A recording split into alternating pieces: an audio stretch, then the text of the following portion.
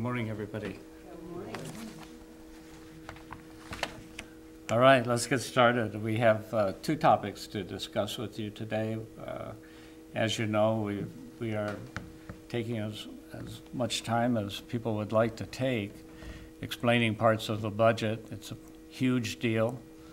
Uh, And we want to be sure there's every opportunity to understand the basic thrusts of, of what we're attempting to uh, suggest to the people of the city uh, through the budget process. So today we want to address two topics. One, the taking charge uh, budget survey results, and also uh, how funds will be used in the upcoming 16 to 18 budget to fix parks and recreation facilities. About time, huh, Lynn? Yeah. The taking charge public engagement process has fundamentally altered, as I think you all understand, the conduct of city business during our administration and, and actually during the history of, uh, of the city. Things, things are moving in a new direction. We've started it, we work on it every year. Uh, and hopefully, we think that that more intense public engagement will become uh, a fact of life in Lincoln uh, going forward. We go to the people of the community to learn more about their aspirations for the future. That's essentially it. The taking charge process has given Lincoln residents a much greater role in the budget decision-making process. By bringing people into the process, we have uh, developed greater community consensus on budget priorities and elevated the community interest above the narrow, narrow demands of uh, uh, special interest groups. Taking charge has been instrumental in helping our administration shape our budget proposals. As I crafted uh, the proposed two-year city budget, uh, keeping our community safe continues to be the top community priority. Another top priority is building and maintaining infrastructure that supports growth like streets and water and wastewater. Those programs and departments have been prioritized within my budget proposal. However, there is a third important priority, which is taking care of what we have. that involves, uh, as well as the large departments, the remaining city department programs like StarTran, parks, libraries, and aging services. The 2016 Taking Charge process focused on those remaining programs.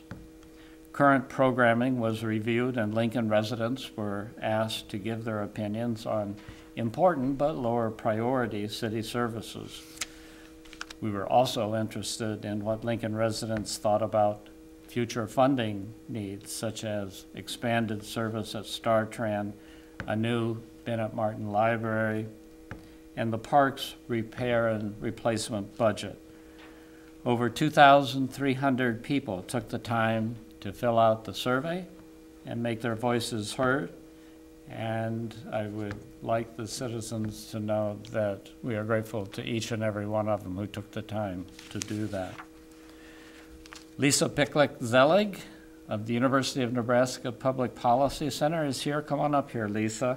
She's our longtime partner. Nice to see you again uh, in the taking charge process. Uh, she, and she's here today to release the results of this year's survey and the results of the community conversation.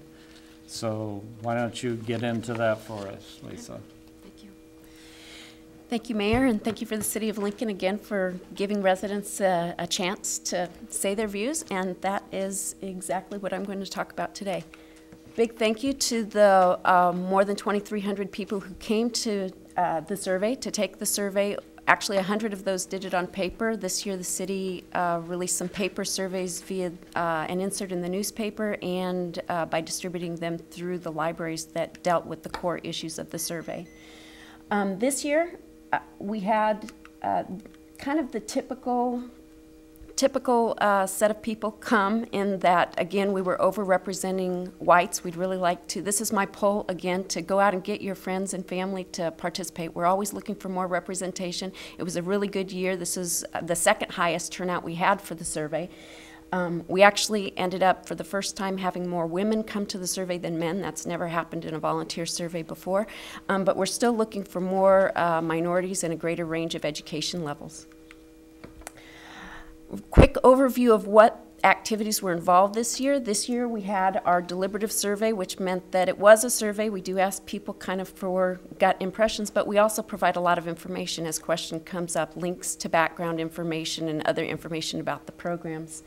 Uh, people could choose from three areas to give their feedback on, and they could do all three in any order that they wanted, or they could quit after whatever they gave feedback on. Those included current priorities, current programs that were in the budget um, that they'd like to see prioritized or not prioritized, future priorities, and then city performance. We always give people a chance to just rate the city in terms of how they think they're doing. Um, we give people two different ways to give their input on these priorities. We let them rate them on a scale of one to five, from not at all important to very important. That allows people who wish to say that all programs are important or all imp programs are not important a chance to say that. But we also ask them to rank them.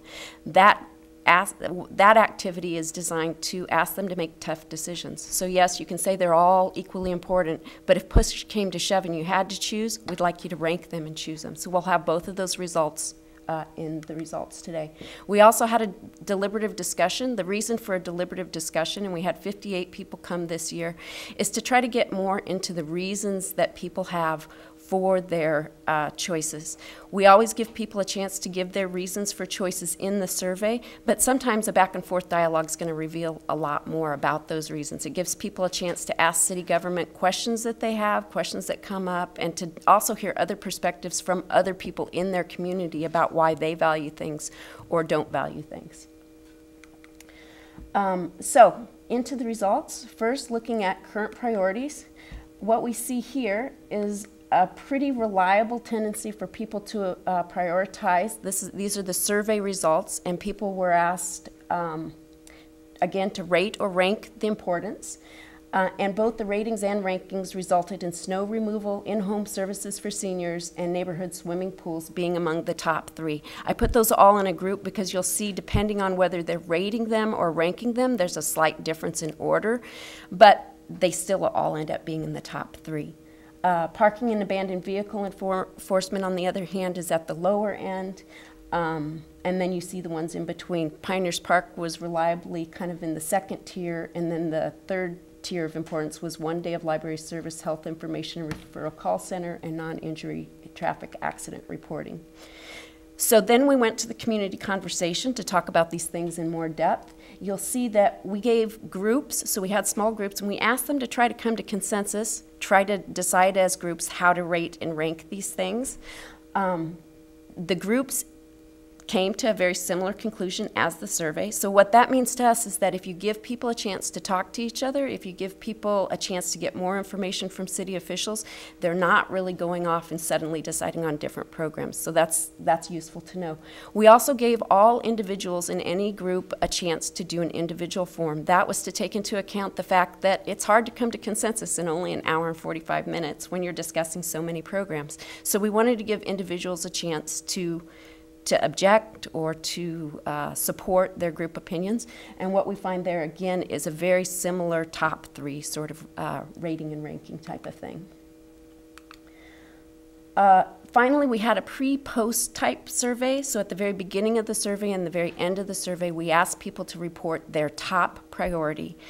Um, again, what we see, and this is a chance to tell us both who came to the conversation, because it might not be the same people who came to the conversation as who did the survey, and did their ideas or their priorities change when they left. What we saw actually was an increase in support for in-home services for seniors and no neighborhood snow removal, and other areas decreased except swimming pools, which again was the top three, stayed at the same level as when people came in. So again, we feel pretty good about our survey results and um, them being supported by the community conversation. as far as reasons for people, for why people chose these things, people tended to focus on, well, how many people are going to be affected by this program and by its funding? How is this program affecting quality of life? How does it affect our safety in the city? How is it impacting economic concerns and growth? And then, um, to what extent is the program serving underserved or underrepresented persons? We also asked people, both on the survey and at the community conversation, if they went over budget, because we gave them a budget of 500,000 to spend on their, uh, on their programs, and we gave them feedback as to whether or not they stayed within budget, and if they decided not to stay in budget, we explicitly translated that into, well, what if property taxes were used to pay for it? What would that do to a house that cost about 150,000? What we saw uh, when we asked them what to do if they went over was that we saw that most people, the majority of people, had some sort of uh, willingness to raise taxes. So we had about 45, 46% saying just raise taxes, and we had an additional almost 10% saying either rate, uh, both do some combination of raising taxes and cutting other programs. All right, looking to future investments. Uh, the priorities here, the uh, top priorities, uh, both the ratings and rankings converged on the same uh, same ordering of the programs. So what you can see is that Parks ended up uh, being at the very top, top rated, top ranked program on average, followed by South Beltway and then StarTran. Um, Golf Capital Replacement and Repair was by far the least valued program. Um, when we looked at the community conversation results, what we found was that we did have uh, somewhat different people coming to the conversation than went to the survey. So you'll see that uh, Parks ended up being actually behind StarTran and South Beltway construction among the community participants' uh, group decisions and among the individuals who decided to give us their opinions. Um, when you look at the pre-post things, again, you see Parks is, is when people are choosing their very top most important program, again, the people who came did not value Parks as much, and that's fine, we only had 58 out of the 2,300. Um, what we also saw was that as people discussed things, the only program that really increased in support was StarTran. So something was happening in conversations with their peers and with the government officials saying, we really, we think StarTran should be funded. Um, in terms of ordering, though, they're all kind of ranked up there. Um, the same reasons were given pretty much in the community conversation uh, for future priorities as for current priorities. Uh, we did see a little bit more uh, discussion of uh, city growth and development, however, in those reasons, and people also talking about kind of absolute cost of programs and whether or not there were other funding sources available. So there were a couple of things where people are like, I don't think there's any other funding for this, so we think the city needs to support it. Um, finally, looking, with looking at resident satisfaction with the city, and I'm only going to report, uh, I'm going to show it in the context of past satisfaction too, but sticking only to the volunteer survey because random sample surveys and uh, volunteer surveys sometimes differ. Um, what we see is that when we give people a chance to rate from poor to excellent, um, they're hanging out right at about uh, almost like three, which is a good rating. This is actually up significantly from last year and up even more significantly from 2012 when we asked about it. Now, yes, this is a non-representative sample. It's a volunteer sample. However, when we, we do have in last year's report a comparison with the random sample surveys and the same trend is showing where people are increasing. Typically what happens is uh, the people who come to the non-random survey online are less happy. People are more motivated by being less happy to come to the survey, so usually they give lower ratings. So the random sample surveys are typically higher. Um, finally, we have six questions that we've shown every I think, every year. And so I've put the last few years that we have. We have them always in the volunteer and the random sample survey. And the city is increasing in all of them. The, the order of the various questions is staying about the same, but the city's increasing on all of them significantly as well. And that's it. You know, maybe before we go on to the other part, Lisa, you want to answer questions, or can we answer questions on this part? for future um, priorities, you said Star Training after what it, is what public wants. Mm -hmm. Elaborate on that more. It says like parks. Sure. I'm going to go back to it. Um, so this is from the community conversation. So you see, and when we asked people what their very top priority was, you see that at the beginning we had about 32% of our respondents saying at the community conversation that was their top priority, and that increased to 43% by the end. So for the community conversation type participants, let me go back. You'll see that the ranking of StarTran um, among groups fell second most important uh, parks was actually higher for them, for groups. Among individuals, it actually, oh, I'm sorry, parks was lower. South Belt, because these are rankings. So with ratings, you want higher numbers. With raters, rate, rankings, you want lower numbers. So South Beltway was more important than StarTran, um, according to the groups and according to the um, individuals who decided to report back on.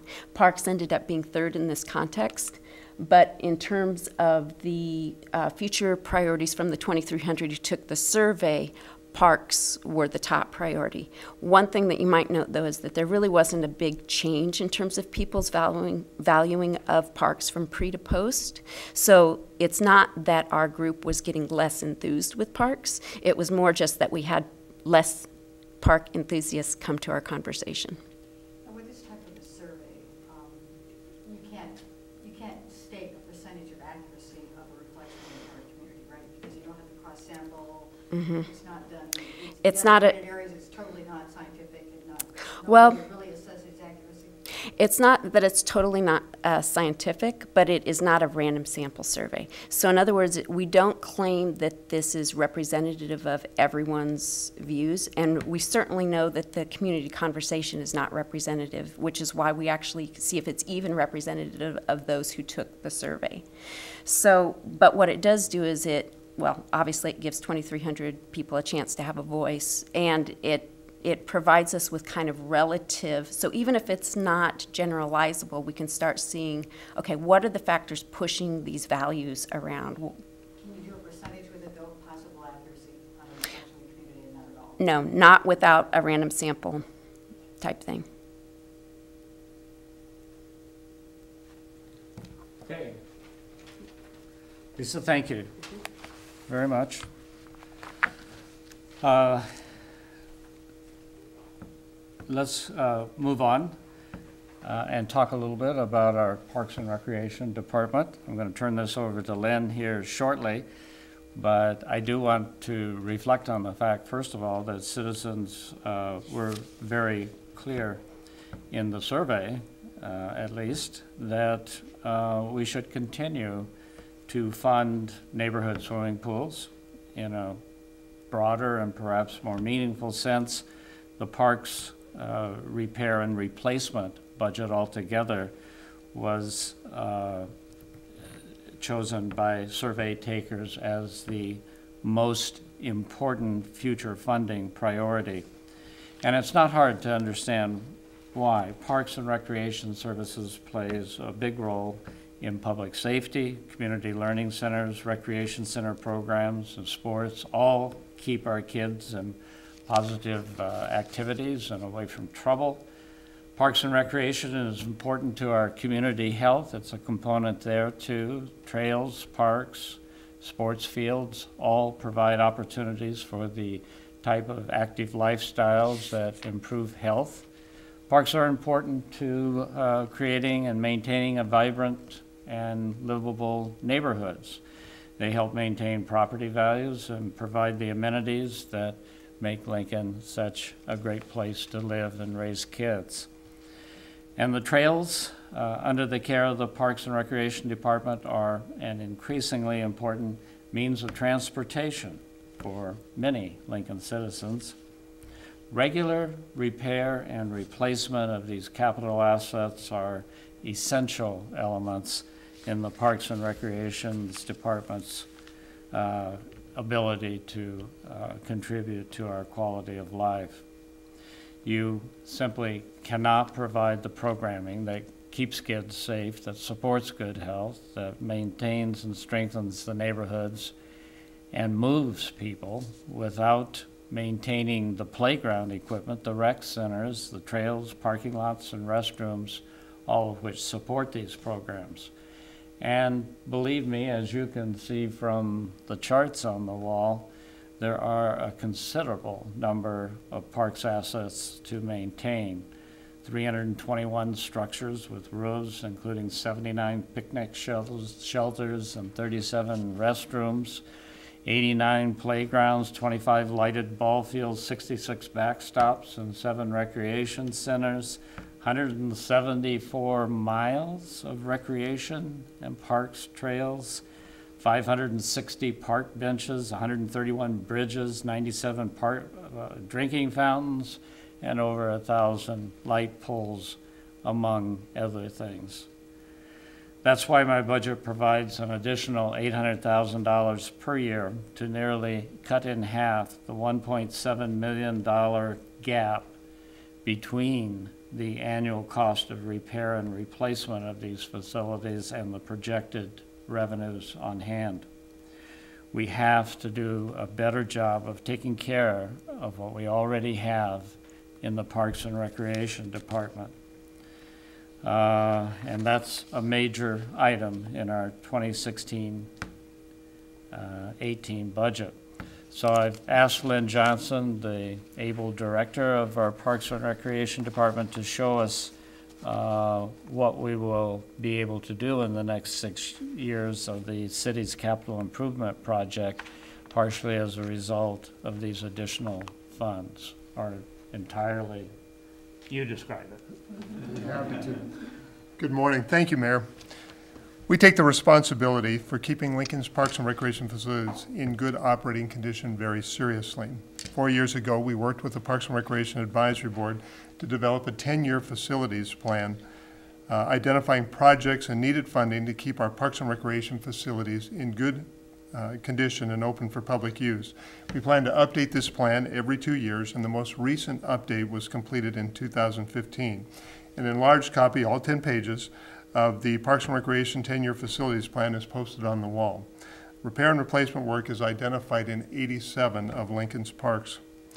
The 10-year facilities plan adopted by the Parks and Recreation Advisory Board indicates that about 2.9 million is needed annually for repair and replacement of existing facilities. Previously, about 1.25 million of funding for annual repair and replacement projects was available, leaving a gap of nearly 1.7 million dollars a year. The mayor's proposed budget includes an allocation of an additional $800,000 each year. $400,000 from appropriate, for, pardon me, from allocation of additional uh, revenue from increased Keno play and $400,000 from general tax funds. This added revenue will allow us to increase infrastructure repair and replacement work uh, accomplished by about two-thirds. For every $1 previously available, there will now be $1.67. Our goal is to replace 22 playgrounds over the next six years. Play area surfacing will be replaced in five parks. Funding will also allow us to address failing areas of pavement in parking lots and roadways that have been deferred for many, and actually too many years. Uh, For example, at Woods Park, the parking lot there was last repaired after the 1997 storm. So it's been nearly two decades since we've been able to do any work on the parking lot in Woods Park. If you've driven through Pioneers Park, if you've driven through Holmes Park, if you've driven through Mahoney Park, you've also seen, or you will also see, unfortunately, areas of failing roadway. Some of Lincoln's trail system is approaching 40 years in service. We'll be able to replace sections of trails that are cracked and separating as they age. Six of our public pools are more than 50 years old. Uh, The funding will allow us to repair aging pumps, filtration systems, and piping so that pools are open for summer water fun. Park area lighting will be renovated in four parks. New roofs will be installed on Auld Pavilion, Hyde Observatory, and the Bethany Park enclosed park shelter. Renovation of restrooms is planned in three parks, and funding is also provided for replacement of about 200 ash trees a year associated with our emerald ash borer response efforts. In summary, the added funds for repair and replacement of parks and recreation facilities will impact neighborhoods throughout Lincoln, helping to keep kids active and safe, supporting healthy lifestyles, and enhancing our, the quality of life in our neighborhoods. I want to stop and really emphasize this. This is significant. It's been nearly two decades since funding for Parks and Recreational Capital Improvement Program was at this level. And I'd be happy to answer any questions that you might have this morning. Can you explain or um, go into, I guess, struggles with past budgets of not having enough funds to do these repair projects? It, it, it really means that we have to prioritize where the funding goes. So we're constantly sort of looking at what can we defer for a little bit longer and to be perfectly honest, the area that we deferred probably most significantly was our, our parking lot paving, our roadway paving, uh, our sidewalk repair, our trail repair.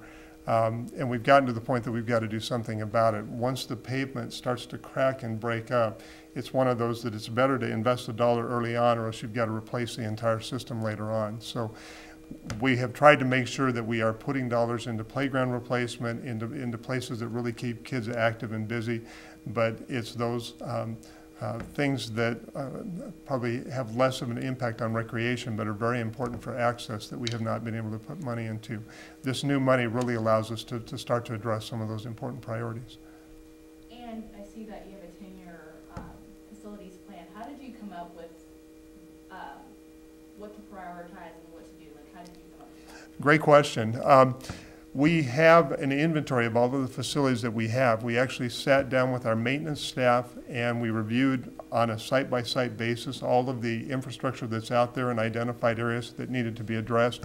We took that information to the Parks and Recreation Advisory Board so that they could review it and have input, and then they were involved in prioritizing the work. So we really want, we wanted some community input, helping provide guidance to us as to what they would consider to be the highest priorities. So when you see the full plan, it actually has rankings of A, B, and C. We take that information and then we, we plug that into the six-year capital improvement program as we build it every year, every, every, really every two years. And I think you already talked about this, but if you could just reiterate, can you talk about how much the budget has changed over the years and how this increase is helpful? Like, where is it, like,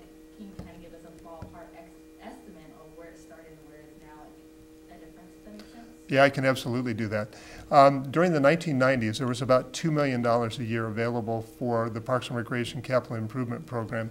It was really about a million dollars of general revenue at that time and about a million dollars of Keno revenue. Um, as the economy started to struggle during the 2000s, we saw that reduced to as little as a million dollars a year. And, um, and, um, and then most recently, this funding will bring us back above $2 million a year in terms of funds that we'll be able to invest. One of the changes that we've made with the direction of the Parks and Recreation Advisory Board is that the $2 million that we had during the 90s was used for both repair and replacement and developing new facilities. The board has really said we need to focus on taking care of, of what we have. And so the $2 million that is in the budget today really is all about repair and replacement. It's really about taking care of what we have.